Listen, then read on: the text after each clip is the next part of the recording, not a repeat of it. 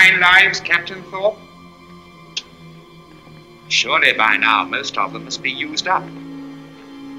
I was expecting you, Captain, but not alone, nor in a Spanish uniform. You should be wearing it. Perhaps I shall, one day. You have some dispatches for me, Captain? I have some dispatches for the Queen. I'm afraid I shall have to ask you not to disturb Her Highness. It's very thoughtful of you, my lord. I think she'll wish to be disturbed.